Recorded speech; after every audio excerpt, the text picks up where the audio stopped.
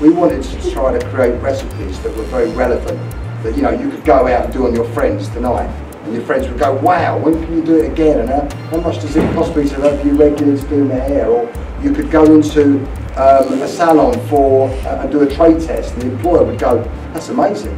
When can you start? You know. So.